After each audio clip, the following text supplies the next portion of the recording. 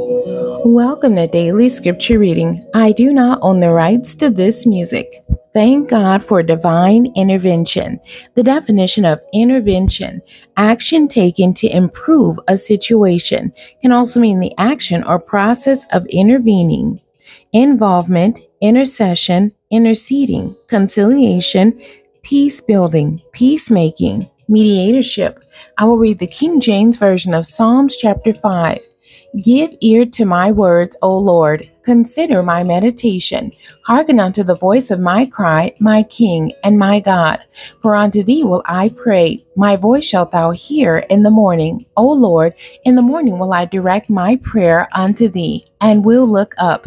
For thou art not a God that hath pleasure in wickedness, neither shall evil dwell with thee. The foolish shall not stand in thy sight. Thou hatest all workers of iniquity. Thou shalt destroy them that speak leasing. The Lord will abhor the bloody and deceitful man.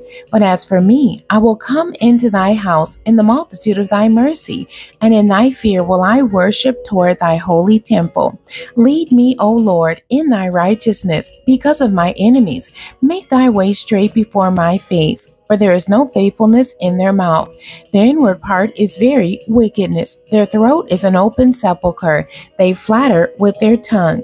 Destroy thou them, O God. Let them fall by their own counsels. Cast them out in the multitude of their transgressions, for they have rebelled against thee. Let all those that put their trust in thee rejoice. Let them ever shout for joy, because thou defendest them. Let them also that love thy name be joyful in thee. For thou, Lord, will bless the righteous. With favor wilt thou come past him as with a shield.